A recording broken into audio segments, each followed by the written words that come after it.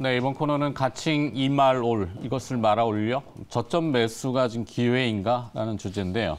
알파 프로 투자 전략 정태근 팀장과 함께 어, 고민을 좀 해보는 시간 갖도록 하죠. 어서 오세요. 네, 반갑습니다. 고민을 해본다라는 것은 어, 좀 거칠게 떨어지는데 네. 그 이게 슬금슬금 떨어진단 말이에요. 그러다가 녹다가 지금 약간 투매가 일부 종목은 있어요. 근데 이제 그 속제 그 소시에테 제네럴 발 CFD 사태 네, 네. CFD 계좌 뭐 보도가 워낙 많이 나왔기 때문에 대부분 이제 시청자분들도 많이 인지하셨을 텐데 자, 이 CFD 계좌의 여파가 일부 종목이 또 있네요. DY PNF 네네. 이게 과거 이제 동양 PNF 사명 바꾼 것 네네. 같은데 주가 흐름 보면은 뭐 폭포수처럼 떨어져 봤단 말이에요. 이 보- 회사 본질하고는 관계 없는 것 같은데. 그죠. 이거는 본질하고 상관이 없다라고 봐야 되겠죠. 그리고 지금 뭐 종목 뉴스를 보게 되면 반대매매 여파라고 나오고 있는 상황이기 때문에 음. 뭐 충분히 뭐 수급적인 요인이라고 좀 봐야 되겠습니다. 그리고 최근에 SG 그 SG발 이런 폭락 사태가 나오다 보니까 제가 최근에 이 본질과 상관없이도 본 종목이 있거든요. 율호라는 종목도 있는데 율호 예. 요 종목 소형주잖아요. 네. 어. 요것도 근데 이게 주가 올라가는 걸 보니까 음. 예전에 삼천리라든지 그리고 지금 우리가 얘기하고 있는 요 DY PNF 이런 것들과 비슷하게 상승이 나오다가 SG발 터지고 난 다음에 같이 요 정도도 폭락을 좀 하더라고요. 이게 아마 그 뭐그 다, 네. 다 저기 뭐야 카카오 그때 이제 화재 건 났을 때뭐 네. 분산 아, 서버 그, 분산 이슈 네. 기업으로 됐던 거 아닌가? 그건 제가 기업은 제가 잘 모르겠어요. 이따 치고 네. 네, 이따 치고 넘어갑시다. 그랬는데 뭐. 네. 어, 그, 뭐 아직 뭐 주가 그렇게 한번한 며칠 전에 좀 빠지긴 했는데 네.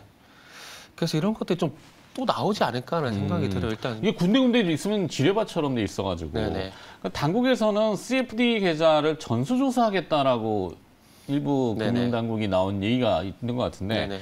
CFD가 번제는 아니잖아요. 네, 맞죠. 그러니까 수급을 움츠러들 수 있게끔 만드는 요인이기 때문에 너무 이제 과격한 보도가 아닌가 싶은데. 저는 이게 좀 걱정이 되는 게 공매도처럼 좀 금지를 시킬까 그런 걱정이 솔직히 좀 됩니다. 그럼 애시당초 허락을 해주지 말았어요. 예, 예. 그래가지고 지금 뭐 CFD 같은 경우는 뭐잘 아시겠지만 이게 뭐 기초자산 보유하자라도 매매가 가능한 거잖아요. 공매도도 마찬가지고요. 그렇죠. 차익 결제라고 보면 되죠. 이게 네네. 시- 실물이 오가지 않고 옴니버스 계좌를 해서 대리 명의로 외국계의 이름을 빌려서 네네. 그래서 이제 뭐 여러 가지 부작용도 있어요. 뭐 외국인이 매수하는 것처럼 음. 보이기도 하고 하는데 네. 뭐 그런 것들은 좀 손볼 수 있고 뭐 조정할 수 있죠. 하지만 음. CFD 자체에 대한 뭐 몇 년치에 대한 전수조사라고 공표를 해버리면은 뭐 누가 투자를 원활히 할까요? 그쪽 예전에 ELW 그렇게 해서 죽어버렸잖아요 시장이 네, 그렇죠. 그렇게 죽었던 과 경험치였기 때문에 문제가 생기면 때려주, 아, 이거 죽인대. 때려주라고. 그러니까 이게 저는 이렇게 조금 순수하게 생각을 하고 싶어요. 그 일단 뭐 CFT를 CFD를 없애려고 하는 것은 아니고 음. 이 삼천리라든지 대성홀딩스 이어서 또 DYPNF는 사례가 좀 나오다 보니까 또 이런 것들이 없는지에 대해서 이 찾아보기 위해서 조사를 하기 위해서 일단 들여다 본다라는 그렇게 좀 순수한 생각을 좀 하고 싶어요. 네. 그 예전에 저는 이렇게 공매도를 저는 있어야 된다고 얘기를 하게 되면 욕을 되게 많이 먹는데 그러니까 한 이것도 어찌 보면은 그 기법이라고 좀 볼 수가 있는 것들이 매매 기법이 매매 트레이딩 방법이 될까요? 네. 공매도 그렇고 CFD도 있고 저는 그렇게 생각을 하고 있거든요. 그러니까 이런 것들이 어찌 보면 주식시장에 참여할 때 여러 가지 무기가 될 수 있는 부분들이기 때문에 이런 것들을 제재를 하는 것보다는 그러니까 소위 말하는 이번 정부 항상 얘기하잖아요. 반칙 금지 이런 얘기하잖아요. 그러니까 그런 행위가 있는 거에 대해서만 저 개인적으로는 좀 제재를 했으면 좋겠다는 말씀 드리고 싶어요. 그리고 네. 다시 말씀드리지만 CFD가 말씀하시면 나쁜 게 아니거든요. 이것도 음. 하나의 기법이기 때문에 이런 시장이 조금 건전하게 조성이 될 수 있을 분위기를 정부가 좀 만들어줬으면 좋겠다라는 이런 얘기 제가 왜 하는지 잘 모르겠네요. 아니, 그러니까 시장이 무겁잖아요. 네. 뭐 외부에 이제 물론 뭐 미국의 부채 한도 이슈, 네. 뭐 복잡다단한 이슈들이 있지만 그런 것들의 이슈에도 외풍에도 조금 건전하고 시장이 활성화되려면은 어, 좀 다듬어야 되는 것들이 네, 그렇죠. 몇- 수, 수십 년째 다듬고 있지만 계속 네. 다듬어야 되는 부분이 있잖아요. 그죠? 근데 이게 새로운 기법이나 이런 방법이 나올 때마다 음. 부작용이 있기 때문에 그러니까 초기에 만들어질 때 그런 걸좀 가이드라인을 만들어줬으면 좋겠어요. 자, 그럼 각설하고 네. 그 CFD 사태 때문에 주가가 곤두박질을 치면은 급락할 때 저가에 매수하는 공격적인 투기 거래도 분명히 존재하죠. 그렇죠. 호소임 핫다 이런 것처럼. 그렇죠. 뭐 이른바 하따, 하가 네네. 따라잡기. 근데 반등을 제대로 못하면 그것 또한 매물이 될걸 수도 있고. 오늘 주제가 이제 타이틀이 이마롤이잖아요. 음. 네네. 이것을 말아 올렸는데 미로다 말아 먹겠다 싶어서 네. 뭐 기업을 그래도 말아 올릴까요? 그렇죠. 그 가시죠. 일단은 뭐 일단은 뭐 이런 것들은 뭐 그냥 시장하는 현상으로 치부하고 네. 일단은 저희는 다른 거 보는 게 나을 것 준비된 같습니다. 거로 하겠습니다. 자, 그럼 기업 뭐부터 볼까요? 아 오늘 이제 종, 첫 번째 종목이 우진 BNG거든요. BNG? 구제요? 네, 네 구제요. 어. 이게 화살 변수 9점을 주고 싶은데 이게 오늘 주 초부터 좀 무거운 얘기해서 정말 죄송한데 음.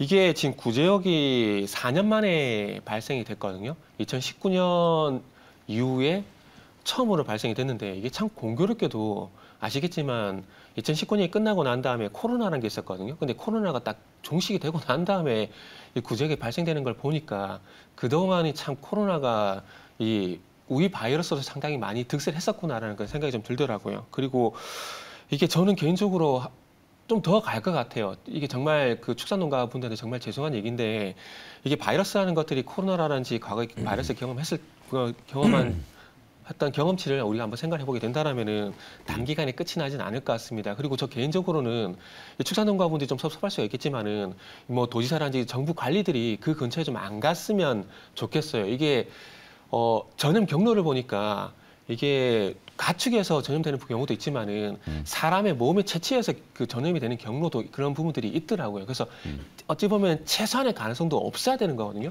그래서 그런 관점에서 보게 된다면은 최소한 그 정부 관리들이 좀 방문을 안 했으면 좋겠다고 봐지고 지금 잠복기가 이게 보니까 또 3에서 8이라 그러고 2일에서 14일이라는 얘기들이 있더라고요. 네. 그래서 아마 잠복기 끝나고 되면은 자, 그래서 우진 BNG는 나올 수가 있기 때문에 네. 그래서 아마 구역이 9점이나 줬네요. 예, 예. 그러니까 다시 변동성이 나올 가능성이 있기 때문에 네. 좀 그렇게 말씀을 좀 드리고 싶고 좋습니다. 네, 그래서 이제 어 9점이고 그래서 일단 다시 재반등 가능성을 좀 보고 신규 매수 같은 경우는 1,730원 그리고 목표 같은 경우는 2,200원 정도 말씀을 드리도록 하겠습니다. 좋습니다. 자, 두 번째 기업으로 빠르게 넘어가서 또 네. 어떤 기업을 보고 계신가요? 네, 두 번째 기업은 이제 NVH 코리아라는 말씀 요즘 뭐 NVH 코리아 3일길인데 예, 자동차 부품주인데요. 음. 일단 화살표 점수는 8점이고요. 네. 요거는 이번에 이제 현대차 그룹이 인도에 10년간 3.2조 투자를 했고 그리고 아시겠지만 울산 전기차 공장 투자 요런 이슈들이 있거든요. 어, 일단은 요 회사 같은 경우 인도 공장을 세 개를 보유를 하고 있습니다. 그리고 인도 공장에서 발생되는 매출이 전체 매출에서 한 23% 정도, 5분의 1 정도 되기 때문에 상당히 큰 규모고요. 그리고 요 회사는 울산 기반 상장사입니다. 그렇기 때문에 울산 전기차 투자 여기에도 수혜가 되는 기업이라 좀 보시면 좋을 것 같습니다. 그런 그래서 이런 뉴스가 나오다 보니까 또 수혜지가 뭐가 될까 해서 좀 찾아봤고요. 그래서 화살표 점수 순서대로 말씀드렸듯이 8점이고 어 일단 신규 매수 같은 경우에는 이제 4,550원 이하 말씀 한번 좀 드려보고 싶고요. 그리고 목표가는 5,200원. 그리고 어, 이 NVH 코리아뿐만 아니라 우수 AMS라는 종목도 있는데 그 종목도 인도에 공장이 있기 때문에 그 종목도 좀 같이 보시라는 말씀을 드리도록 하겠습니다. 좋습니다. 자, 빠르게 또 하나 기업만 더 볼까요? 네, 다음은 SBB 테크라는 종목을 좀 말씀을 드릴 건데, 예, 로봇이요. 네, harmonic 감속기. 네, 네. 화살표 화살표 점수는 7점. 7점. 네네. 그 일단은 아시겠지만 지난주에 그 두산 로보틱스가 이제 10월달 상장 작업을 마무리하기 위해서 이제 준비를 한다는 뉴스가 좀 나왔었는데 이 회사 같은 경우는 이제 그 SK텔레콤과 무인 커피 로봇 서비스, 그러니까 AI 바리스타 로봇을 개발을 했습니다. 근데 여기에 이제 조금 전에 앵커님 말씀하셨던 로봇 핵심 부품 harmonic 감속기가 들어갑니다. 요게 어찌 보면 관절 움직임을 조절해 줄 수가 있기 때문에 핵심 부품으로 들어가기 때문에 좀 보시면 좋지 않을까 판단을 좀 했고요. 그러다 보니까 두산 로보틱스 IPO 관련주로서 이제 이 SBB 테크도 한번 같이 보시면 좋지 않을까 판단을 좀 했습니다. 그래서 신규 매수 같은 경우에는 5만 천 원 정도 말씀을 좀 드리고 싶고 목표가는 6만 4천 원 정도 일단 말씀드리겠습니다. 화살표 점수는 다시 말씀드리지만은 7점 이렇게 말씀드리도록 하겠습니다. 네. 자, 좀 어, 두서없이 빠르게 봤지만 하여튼 기업 네네. 뭐 구제역이라고 하는 타이틀은 좀 아, 주제 테마는 좀 이어질 거다. 그리고 우진 B&G, 네. 그다음에 NVH 코리아라는 자동차 부품주 하나 봤고 SBB 테크라는 로봇 관련된 기업도 봤습니다. 아, 알파 프로 투자 전략의 정태근 팀장이 수고해 주셨습니다. 고맙습니다. 네, 감사합니다.